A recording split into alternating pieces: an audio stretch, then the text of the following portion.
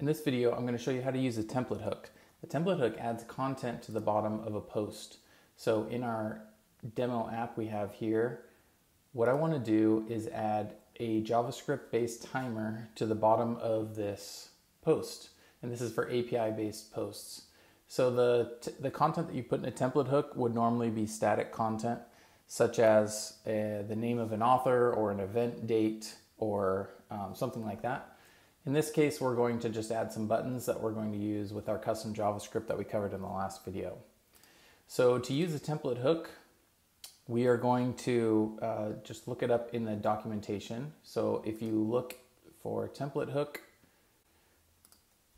so if you look in our documentation, you'll see that we have example code here.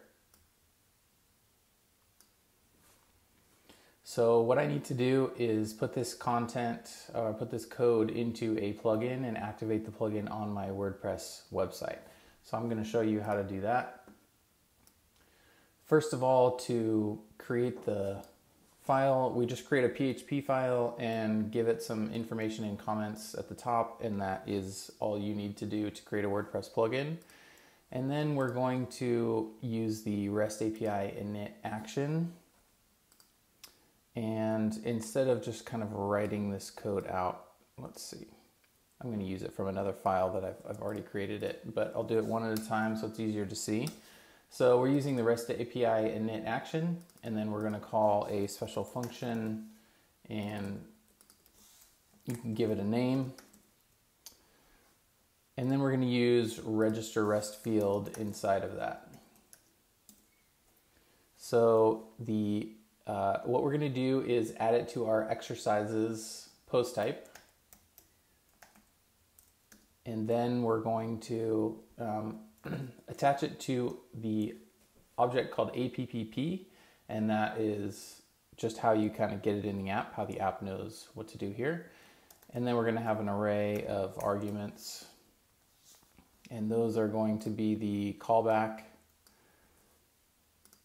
Just going to copy and paste this really the important one here is the get callback, which is going to be where we populate the timer. So let's finish that off. And now we're going to create our function, which is our callback. So in the hook data, it takes three arguments. And I'm just going to copy and paste this for the sake of time. And then what we want to do is populate our data. And then at the end, we're going to return this data.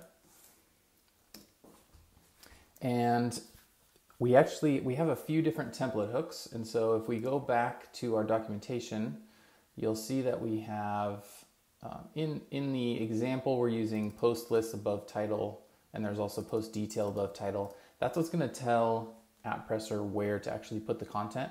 So in our case, we want to do post detail and we're going to do below content. So the avail you can go to the available hooks towards the bottom and you'll see that there is post detail below content. That's what we want to do. So we're going to go back to our code and we're going to say data post post detail and then we're going to say below content and then we can put any type of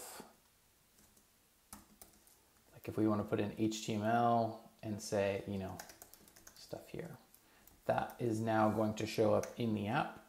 And if you wanted to give it custom styling you could give it a class of app you know content whatever you want it to be. And then you can target that with css in AppPresser and customize it so in our case, we are going to, um, we're gonna add below detail, below the content.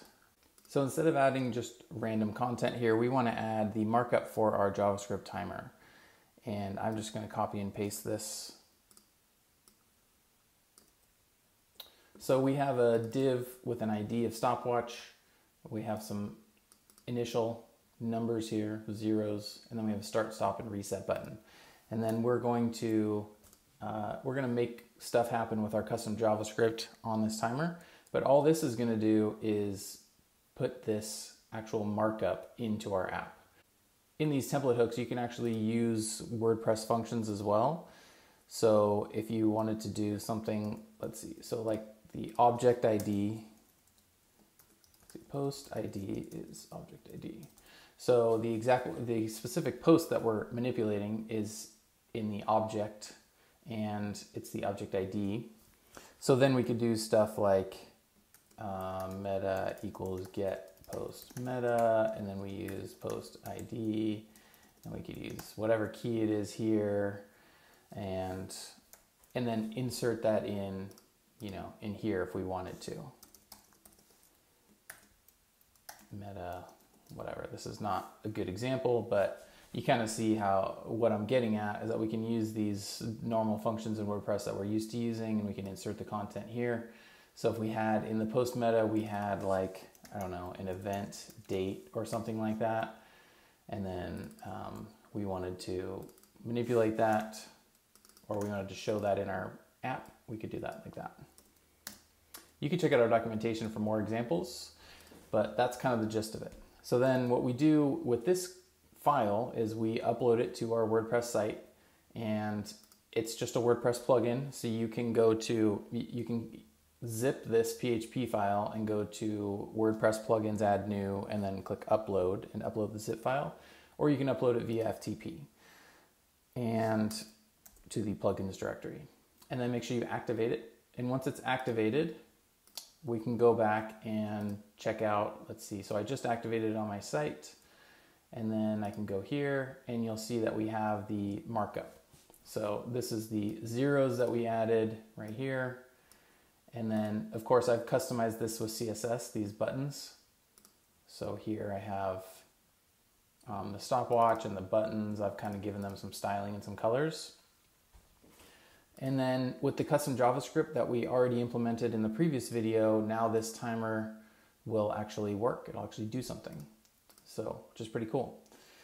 So that's template hooks. Normally, like I said, you'd be adding static content. The custom JavaScript is a little more advanced but I just wanted to show you how you can add that. That does now show up on all of our exercise posts.